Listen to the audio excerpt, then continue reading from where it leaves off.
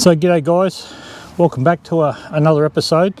Um, this week I wanted to talk about something that uh, I haven't seen a lot of uh, videos or, or, content about and, and that's about um, chassis bracing as or strengthening as it might be known to, to some others.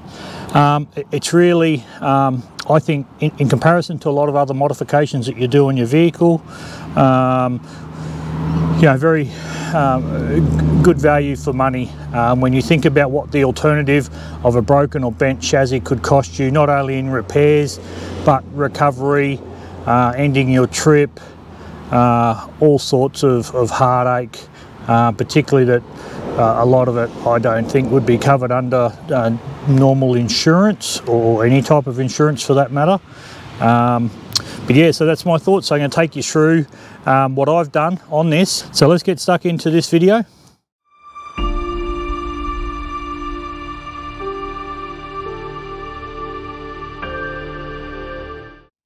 So the particular plates that I used were uh, a Superior Engineering kit. Um, it's, so it's four plates, an inner and outer, for both sides of the chassis rail. Um, they're approximately 8 to 10 mil thick um, and they, they retail for $190. I think last time I checked the site and, and that's what we paid. Now I had those, so that's just for the for the plates themselves. You then obviously have to have them um, welded in as per the instructions by a certified welder.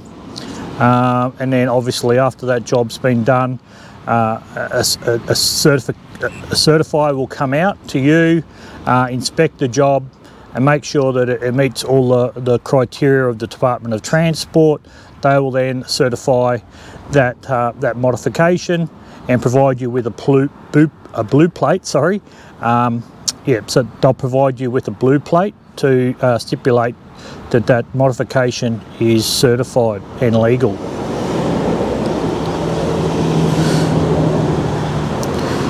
So uh, as with the tray and canopy, uh, in conjunction with that work that, you know, Pinnacle 4x4 up here in, in Brisbane um, did the install and fit out of the MITS stuff and, and my power um, setup. Uh, I also uh, had that chassis uh, strengthening and bracing done at the same time. So it was all organised through Pinnacle. Um, again, I knew what the price of the kit was. Um, all up the job from start to finish cost me $1,250. Um, obviously, um, the, the, dearest part of the whole exercise and the, and the most uh, critical part is around the quality of, of welding uh, and the time it takes to weld. So in this particular vehicle, they had to drop the tank out, the rock sliders off, drop the wheels, that sort of stuff. So there's a fair bit of time involved. So if you're thinking, geez, 209 or 200 bucks for the for the kit, and you know another thousand bucks just to weld it in and, and, a, and a mod plate, well, I can assure you that that thousand bucks is is very well spent. Um, again, as you've seen or as you will see, the, the level of workmanship and, welding that's gone into this, I couldn't be happier with. The overall finish, it looks very factory. Uh, there's no bird shit welding on this job, that's for sure. So, um, $1,250. Uh, again, one of the one of the cheaper mods I've done and, and, and, absolutely gives me peace of mind. We're going to head off, uh, we're going to cross the Simpson Desert later on in the year.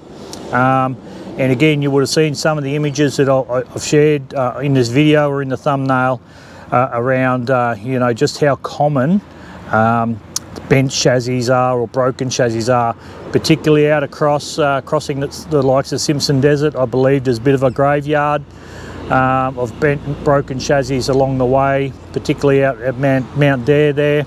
Um, so I don't want to become another one of those casualties and woulda, shoulda, coulda. Um, we just bit the bullet, got it done, get it done right the first time.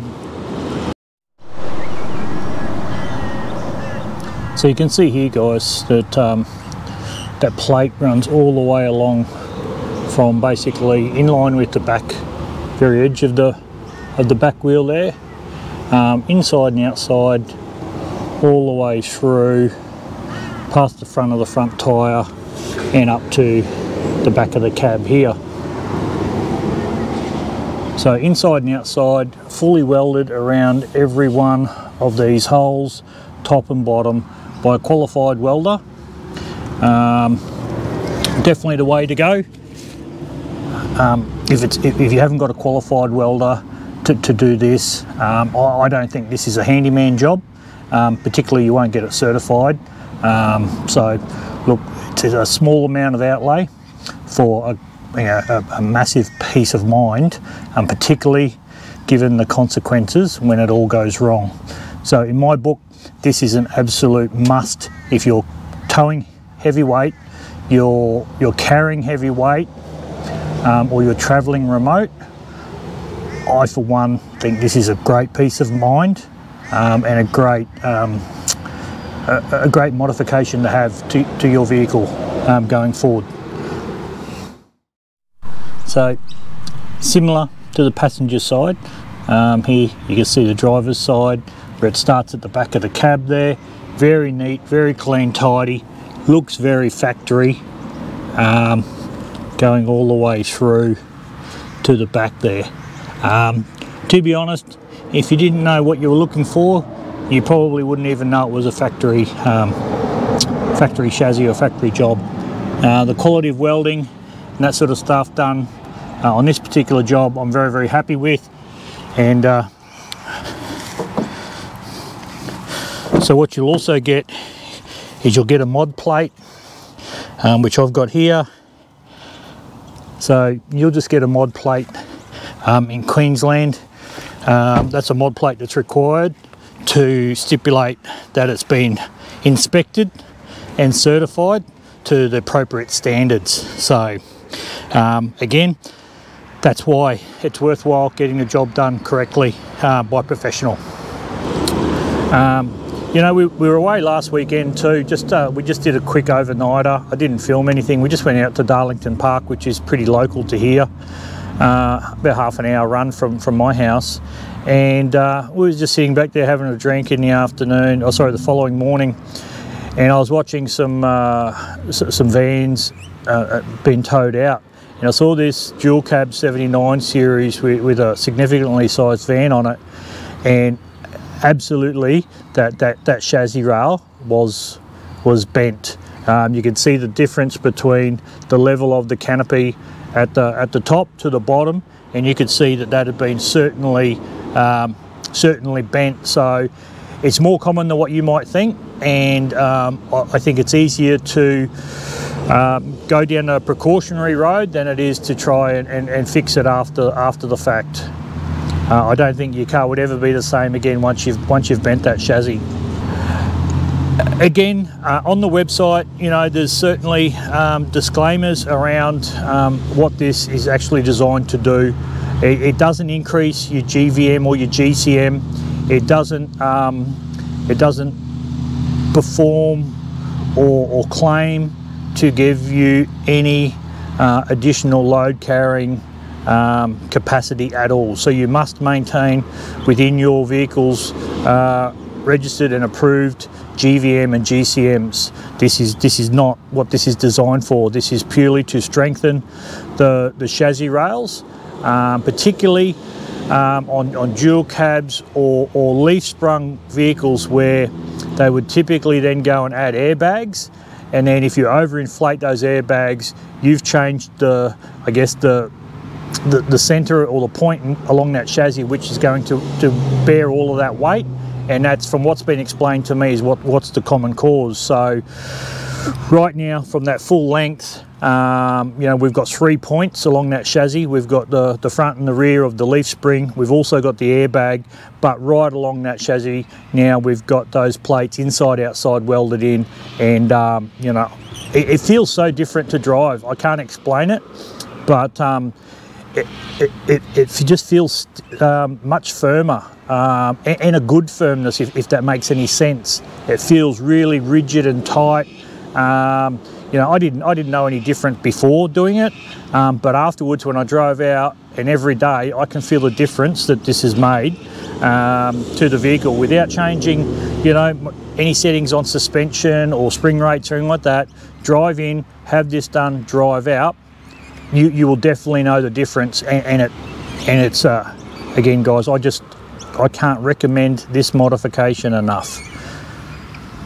So that's it guys, that's my thoughts. I hope you found um, found this valuable. Um, again, I just want to share you know my experiences and and you know the things that I see as being important.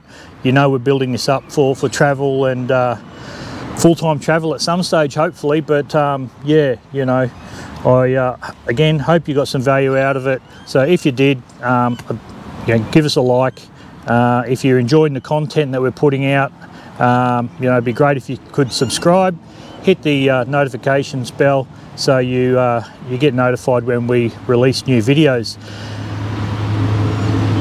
So coming up over the next few weeks, um, you know, there'll be different, a few more other videos based on, on product reviews. We're going to review the, the Darche 270 degree awning and, and my thoughts around that. Uh, I am sort of in two minds as to what to do with that. I'd love to, to do something different, but in saying that, this one's certainly not, not giving me any reasons to change it out at this stage. Um, I'm also, I get a lot of questions about doing a full sort of uh, rig walkthrough or, or rundown of, of, all the modifications on the actual uh, full drive itself on the Ranger. So we'll do that um, with all of the videos predominantly have been about the tray, canopy, 12 volt, fridges, that sort of stuff. So I'll give you a run through um, of what we've actually done with this. I've done a lot. Um, it's very, very capable for what it is. Um, so yeah, that'll be another video that comes up soon. And then, like I said in, in a couple of other videos, we're going to be heading out to Scenic Rim Adventure Park um, over Easter. So um, yeah, we, we're going to jack off the canopy, which will be fantastic. Um, we're going to set up a base camp, so I'll take you through my thinkings, uh, the likes and dislikes. Uh, I know, or I'm hoping, that I had a I had a thought process and an image in my mind about how this would all work, and I've yet to test that theory. So fingers crossed that all comes comes through um, how I planned. Um, but I'll let you know um, what, what my thoughts are and anything that I, I'm going to change just to get that right. And we know you're always fine tuning your setups uh, after each trip. Um, and then later on in the year, we're going to be doing uh, three weeks. Um, we're going to head from Brisbane up to Birdsville and we'll then uh, cross the Simpson from east to west. Um, we'll head out to, at this stage, we're planning on doing sort of a Finke, Finke Gorge, uh, Kings Canyon, Uluru, um, probably head back down then I think to Coober Pedy and loop back around uh, South Australia, uh, Western New South Wales and back into Queensland and home again. So that'll be a three week trip. Uh, will be myself and um, and Tash in, the Ranger and then my, my son and, and daughter-in-law and grandson they'll be they'll be coming along as well. So we'll have uh, two vehicles on that trip uh, as well. Uh, similar to what we did um, when we did the Cape. Now we're not towing anything this time, so it'll just be we'll be self-sufficient out of the vehicles. So um, that'll be again um, the the best test for for the setup that we got here anyway. So with that, wrap it up. Appreciate um, you tuning in. Uh, until next time, cheers. Enjoy yourselves and get out there and explore. Eh? Good on you.